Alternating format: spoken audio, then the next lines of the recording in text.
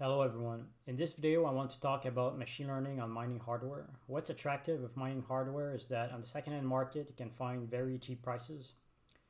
For example, I got this P100 for the equivalent of 20 US dollars. Another card I will show you later is the P100 600.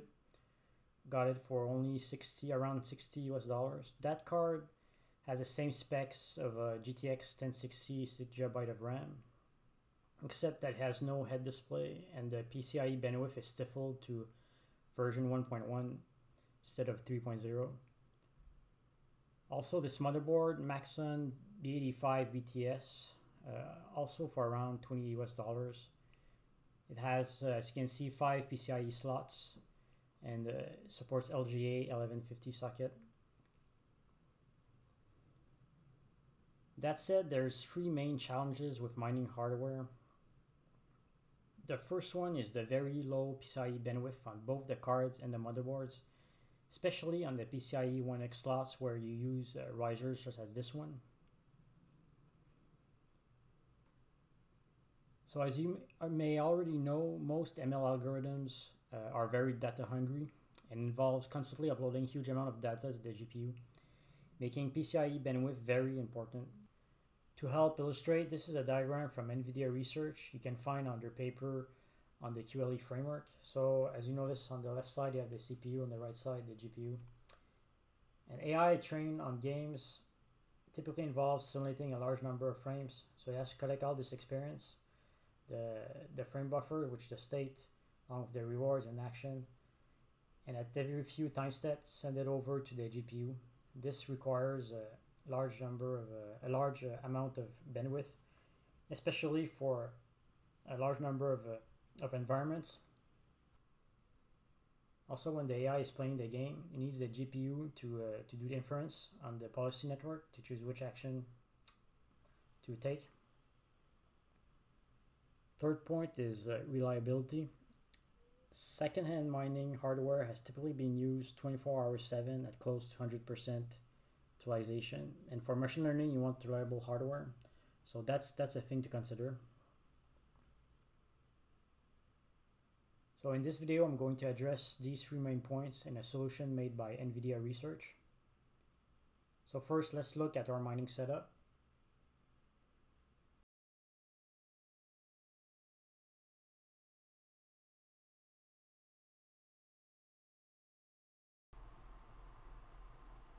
So we use Ubuntu 1910. We have 16 gigabyte of RAM, Intel Core i3 4130 CPU with four cores.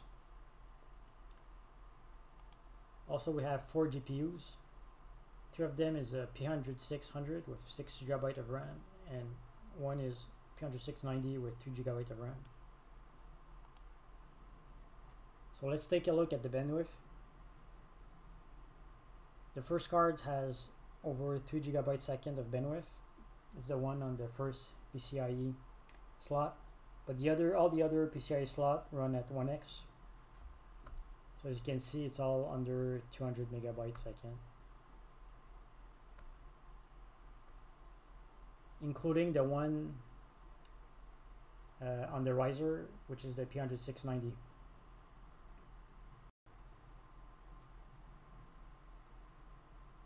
So let's do a quick test with OpenAI baseline using the Pong environment. This is the exact same environment used by the NVIDIA Research CuLE paper. So let's start.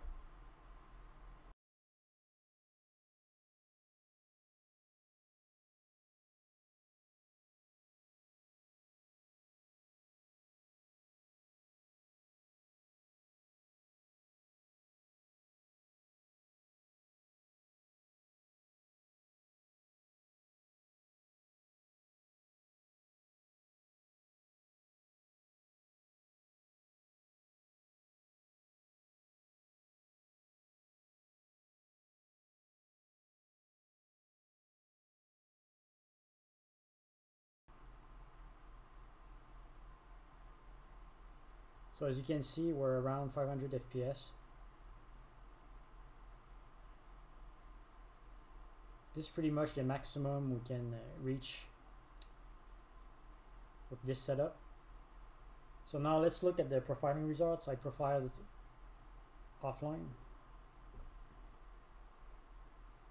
So here we're using the NVIDIA Visual Profiler. So first thing to check is the host device transfers. As said earlier, at every few time steps, uh, the CPU sends all the data to the GPU for training. So this this is where you see the large block of transfers here. This is just for six six environment, so it's not so bad. But you can imagine when you using, for example, 128 environments at the same time, the transfer time is much larger, even on uh, on PCIe when when the PCIe bandwidth is is large too. So if you check here in your case, the throughput is a bit under 200 megabytes second, like the CUDA-Z benchmark showed us. So that's consistent. The rest of the transfers is for inference, like when when the the algorithm is doing the rollouts, it needs the GPU to uh, to do inference for the policy network. So these small blocks are for inference. So in between, it's the CPU simulating the Pong environment. Here we have the GPU. So after receiving the batch of, of training data, trains for a while, and then the CPU restarts the, the simulation. And it goes on like this. So as you can see, the GPU is underutilized and our bottlenecks is clearly the transfers and the CPU. Now, interesting thing is that even on hardware that has huge amount of cores, high PCIe bandwidth, and high-end GPUs, such as the Tesla V100, you still get the same kind of bottlenecks. So last year, NVIDIA published uh, a solution for that, potential solution for that, which involves simulating the the Atari environments on the GPU directly, which effectively eliminates the bandwidth and the CPU bottlenecks. So they claim they can reach over 11,000 frames per second on the Tesla V100. So let's try that on our on our uh, mining setup.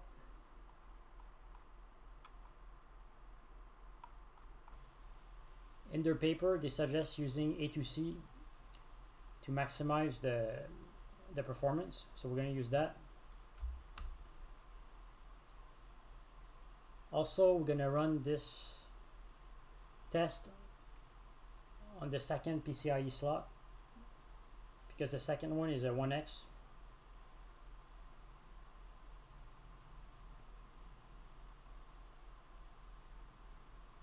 Takes a while to start.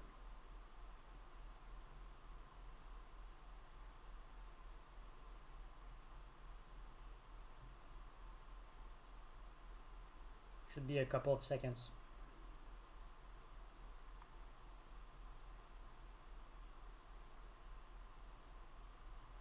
So as you may have noticed, it uses PyTorch. So it's PyTorch 1.2. Alright, so it started. It's around 2800 frames per second. This is much better than our 500 frames second we got last time. If we see the GPU utilization is close to 100. Seems to be effective. And this result is consistent with the results in their paper where you have 11,000 frames second on the Tesla V100. The P10600 is about five times less powerful overall than the, the Tesla card. So it's about it's about right. Makes sense. Now, if you want to do a real interesting test, we can try it on all four GPUs at the same time and see how far can we go. As you can see, all three GPUs are active. All four GPUs are active.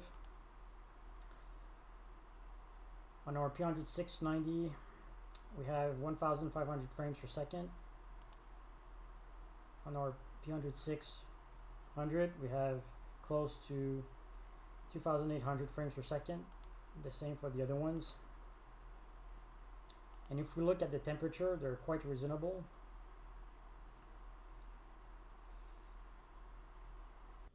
In case you're curious, the watt usage is over 300.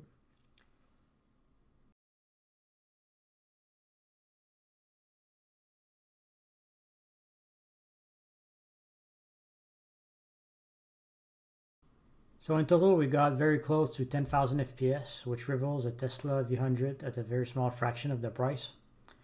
Obviously, this is not distributed training. It's four experiments running in parallel, which is not as useful as running one experiment at 10,000 FPS, but still good since most likely you want to test your algos on multiple environments at once. And about the reliability issue with mining hardware, so the first mining card I bought was a second-hand P100 600 back in summer 2018. And I've been using it since without any issues. Until I bought six mining cards and one was broken on arrival. It crashed under any type of load, but I got a refund right away. Overall, I got a good experience and helped me reduce machine learning hardware costs greatly. So to conclude, before going out and buying mining hardware, make sure your use case can fit within a solution like CuLE that doesn't require significant PCIe bandwidth or CPU usage. And moreover, the only, only the Atari emulator has a full GPU version. You would be stuck with that. If you're crazy enough to code your own emulator in CUDA, keep in mind that more the more branching you need in your code, the less performance you're going to get. So CuLE is really most effective for simple simulation and unfortunately, CuLE is not supported on AMD cards as it uses CUDA, and to my knowledge, no equivalent solutions uh, exist for ROCm presently. So that's it. Uh, please uh, don't forget to subscribe and press the like button. If you have any questions, uh, you can ask it, uh, them uh, down below. I'll do my best to answer them. Thank you.